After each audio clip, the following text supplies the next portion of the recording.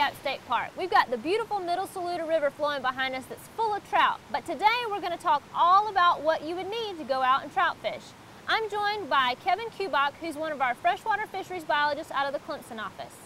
So, Kevin, if we're going to go out and we don't know anything about trout fishing, how do we need to dress to get into one of these streams? Well, trout are naturally cold water fish, so it's a good idea to wear waders, especially during the cooler months. Um, you have a couple options. You can either wear chest waders, and especially if you're wearing chest waders, you're going to want to make sure you have on a wading belt. Uh, really key safety piece of equipment here for, for deeper water. In case you were to fall in, this prevents water from filling up your waders. In shallow streams, you can get away with hip waders. And during the summer months, and really in South Carolina, probably four or five months of the year, you can wet wade, which is a very nice thing to do. Um, just put on an old pair of wading boots or, or old boots in general, maybe a pair of uh, wading pants, and you can just uh, hike through the stream and, and have a good time out there. Excellent. So we've got the clothing down. Now, what other things would we need to have on us? We can't have a tackle box like other anglers would in their boat or on the bank because we're actually in the stream. So how do we get our gear out there? Exactly. As you can see, trout fishing entails a lot of gear. And uh, a vest is a handy way to store all of it. You can see lots of pockets here, place to hold uh, a pair of hemostats to remove hooks, um, uh, line clippers, and all your flies, uh, rooster tails, any small pieces of gear that you might need while trout fishing, you can store them in a vest. Or alternately, a uh, chest pack. These are great if you're doing like a day hike. You just need to keep a few things in there. Um, real convenient. Has a place to put all your flies and maybe a snack or two. It's pretty neat. So you don't necessarily have to carry it all on your back or on your vest if no, you don't want to. No. There are other means of That's a great option that. for just a light, you know, uh, small stream headwater hike or something like that. Now what about this handy net over here? We don't definitely don't want to lose the things that we You catch. do not want to lose trout. They're, they're, too, they're too pretty to lose at the end and not get a picture of. So these, these fine mesh soft nets are great. Trout don't have spiny fins, so you don't really have to worry about the, the sharp spines tearing up the net or anything like that. And this is pretty good on their scales, not too rough. And where would an angler carry something like this if he's toting in a rod and You can hook it right onto your vest or, or your pack, or even some people just tuck it right into their wading belt, or if you're wet Okay. wading, just stick it right in your belt, and it works out pretty well. They're nice and light. so very easily accessible so we don't lose that fish when we land exactly, them. exactly. So a couple other things that I think um, are important, and they're important in any fishing, are these things right here. Absolutely. Polarized sunglasses are a key piece of equipment for any angler. I think most people um, realize the benefit of being, being able to see your lure, see where you're casting, cut that glare off of the water, and especially in, in trout fishing, if you're fly fishing or spin fishing, just being able to see exactly where your lure is in a complex flowing stream really helps. So those glasses do a great job of cutting the glare. So they kind of give us a, a heads up to where those trout might be hiding out in the Exactly, pool exactly. and where exactly we need to place that lure. right. Another handy thing is that hat you have on. It is. It, it, in conjunction with the fishing glasses, it's a, a great way to, to keep the sun right out of your face and let you kind of see that action out in front of you a lot Not, better. not to mention if you were on the trout stream with a rookie like me, that you'd want to wear that hat and those sunglasses to protect those eyes That's from uh, true. a, Stray flies oh, and a stray hook. so we've talked about what we should wear. Now we've got several different types of rods and reels on the table. You know, when people think about trout fishing, they strictly think about these things right here. These Right. fly rods. right. It's that, that image of trout fishing is often associated with fly fishing, and it's just one of many ways you can fish for trout in South Carolina. Um, fly rods are typically longer than, than spinning rods. This is an eight and a half foot rod here. And the difference, the main difference is that you're casting something that's almost weightless most of the time. So rather than the line, uh, rather than the lure carrying the line out, you're actually casting the fly line. Fly line is thick and, and buoyant, and you're, you're, you're actually throwing the, the line, which just then carries the fly. Um, in, in South Carolina, you can get away with a, a five weight rod in most situations. That's a good middle of the line uh, fly rod weight.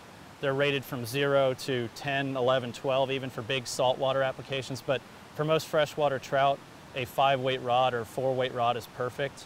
You can go a little bit smaller too. This is a two weight rod here. It's great for small wild trout in settings like the one we're in now.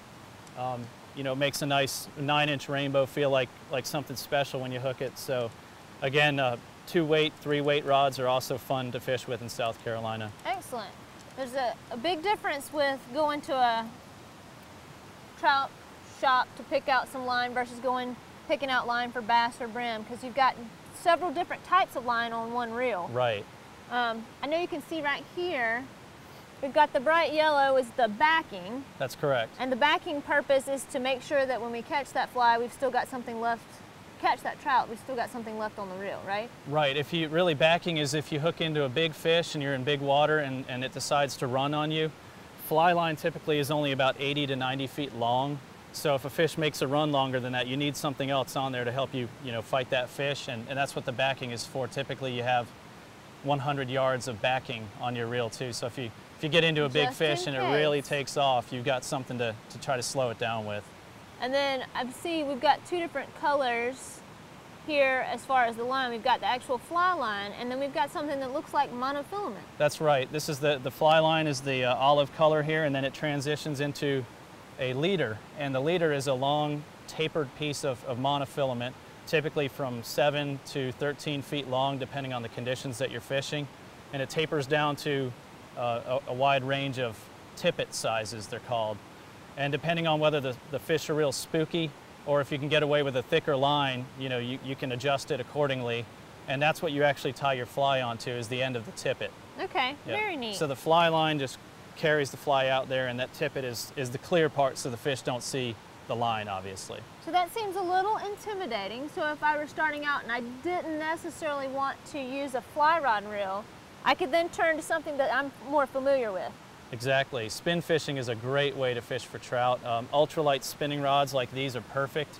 You can tie on a 1 8 ounce or 1 16th ounce rooster tail. That's a great lure uh, for most trout streams. Um, shallow streams and rivers, those are perfect. You can kind of cast them across the current and reel them back, you know, and, and trout are pretty aggressive with those. Usually they'll come out and, and hit them much like a panfish or a bass would. Well, that's good to know. So if I get really frustrated with the art of fly fishing, I can turn to my my handy dandy spinning rod that I, I'm more comfortable with. Exactly. So when we're trout fishing, we have a variety of things and situations. We've got really small streams like the Middle Saluda behind us in South Carolina. Right. We have the wide Chattooga, Yep. and then we have places like Lake Jocassee where we've got a lake situation. So it's pretty unique in South Carolina that we can fish for trout in a variety of ways, which means we need to have a variety of things in our tackle boxes depending on where we're going to go. Correct. So let's start out on a stream like the Middle Saluda. well, what would we use?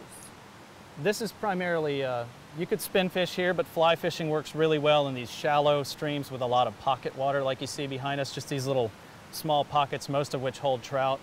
Um, you've got a lot of different flies to choose from as you can see here. Nymphs are a class of fly that are intended to be fished below the surface, and you usually fish these with a little bit of weight. You can get split shot, just like you would use with uh, fishing with crickets, you know, for brim or something like that. Put a little piece of that on, maybe eight inches above the fly, and some of the flies already have uh, beads on them, as you can see here, which helps get the fly down. You're going to fish these below the surface. They're intended to imitate aquatic insects that are drifting under the water or have or are crawling along the bottom or have emerged and are on their way to the surface. Trout sit in these lanes and feed on these things all day long, and so you're just going to want to cast that up into the, the the prime run and let it drift back along. You can use the fly fishing equivalent of a bobber, which is mm-hmm. called a strike indicator. You see a couple varieties of those here. You just keep your eye on that. When you see it twitch or stop or change direction, much like fishing for brim, just set, the, Set the hook. hook. Exactly. So those are that's primarily the way you fish with nymphs. Okay, so those would be subsurface. Subsurface, exactly. Um, then a lot of the year as well, aquatic insects are hatching out, flying off to mate, and coming back to the water to lay their eggs.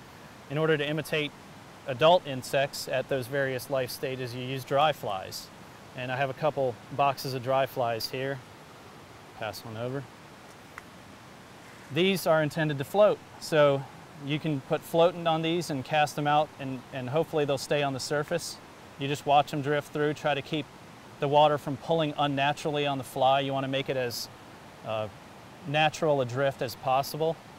And you just keep your eye on that dry fly. In the southeast, trout are not too picky it's more about presentation uh, rather than pattern. So the key things are just having a fly that you can see, that the angler can see when it's on the water, and one that floats well because you're dealing with a lot of intricate currents and they're going to push that fly around. You want something that's going to stay on the top of the water and allow the angler to see it for most of its drift so you can just watch the trout come up and take it. That's, that's a lot of fun. So if you're using a um, dry fly like this, who's pretty fluffy, you have Right. to put the float flotation stuff on it to keep it going. Right. And do you have to reapply that when you're using these lures? You do occasionally. It's, it's one of those things you kind of do it as needed. If you're fly, if you're casting a lot, that'll help dry the fly out. If you're in a close quarters situation, you're just doing a little uh, dead drift, you know, you're, you're watching your fly, you might not really sink the fly a whole lot. So if, if a lot of fish are biting and pulling it under, which is a good thing, then you probably have to reapply floatant periodically. And then I just get a little blow on it to fluff them, fluff exactly. back You up. just rub it on there and, and dry the fly off a little bit and you're good to go. Very neat. A third class of, of fly, and, and as you can see, these are a lot larger than most of the other types we have here. Uh, these are called streamers. And trout, people think of trout as eating all these small aquatic insects, which they do, but they also like to eat fish and other larger critters that live in the stream, like crayfish. That's what these are intended to imitate. And you usually cast these out. They're pretty well weighted um, already. As you can see, a lot of them have uh, maybe eyes on them or a, a bead up front that helps get the fly down. You're going to cast this out and just strip it back through, make it look like a, a fish darting through the river, something like that. These are great to use on larger trout, especially brown trout, which really like to eat other fish. Okay. So, can I can I see one of those? absolutely. I would love to. Um, it's pretty neat. So do you make your own flies? I tie some. Mhm. It's a very fun element of the sport. It's, it's really rewarding when you catch a fish on, on a fly that you've tied. So So you can change up eye color and eye color, the material, a lot of these flies use material from uh, turkeys, pheasants, a lot of game birds. So if you're a hunter, that's another thing you can do is try to get yourself a turkey, tie flies with it and go catch a trout. I'm still trying to do that myself. I haven't been successful on the turkey front, but very neat. So those are all the different types of flies that you would need in your arsenal to uh, go out there and catch a good trout. So what do we have here in the middle? Uh, this is a box of inline spinners, primarily rooster tails, which we discussed earlier. These are great to use with ultralight spinning rods. And again, you can cast those out across the current, bring them back, and, and again, they, they imitate fish, primarily crayfish, things that are on the move in the stream, actively swimming. We also have some little jigs here. Uh, these are called trout magnets, and it's just a, you know, a little jig head that you put a grub tail on, and they're perfect as well. You can run these below an indicator or a bobber if you want to call it that, and put a little split shot on there and just let that thing drift through the stream. And they're great flies where, you know, And they come in a variety of colors also. exactly. I really like some of these inline spinners over here. They actually imitate um, some of the flies that you mentioned. These look They like do. dry flies. They do. They're, they look like dry flies, but you can fish those. You can kind of run them just under the surface or, or down below the surface, and that get that blade turning, and it, the flash draws the fish over, and then they see the, the actual, you know, lure there, and they're very effective as well. Some of these imitate, like this one looks kind of like a, like a grasshopper, something of that nature. That's another key thing with trout fishing is up in these small streams, fish eat a lot of things that fall out of the trees. It's a very important source of food for them. Not all the critters that they eat come from within the stream.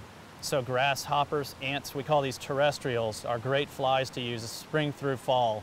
When those things start to get active, ants are falling in the stream all the time, grasshoppers, so it's a very useful pattern. You had to tie your own ant fly, that would have to be really tiny. Some of them are pretty tiny, and uh, you know this, these tiny flies are hard to see when you're when you're using them. But one thing you can do in fly fishing is attach a small fly to another fly. So you'll have your line going to a big bushy dry fly, and then have that dropped off to an ant, maybe 10 inches below, and you can just keep your eye on the big fly. When you see it move, you know something may have taken the smaller fly. That's So another your- technique. the ant fly would be under the surface, and your dry fly would be floating Exactly, on a top. So your dry, a dry would work- dropper is what you call that. would work as a strike indicator, so exactly. to speak. Gives you two options as well, you know, two, two food types for the fish to choose from, maybe increase your chances a little bit of hooking up with a trout. Very neat.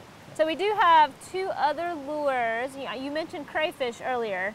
This is something that we could also use with a spinning rod. Exactly. I don't know any game fish that doesn't like to eat crayfish, and, and trout are no exception. So Uh, crayfish pattern is a great idea when trout fishing. You can cast that across and, and swim it right under the surface or down along the bottom like a crayfish that's fleeing from danger. That always seems to uh, get that aggressive instinct going in fish and they'll, they'll usually eat those. So a very good key component in our aquatic ecosystems here in South Carolina. Absolutely, absolutely. Good food source.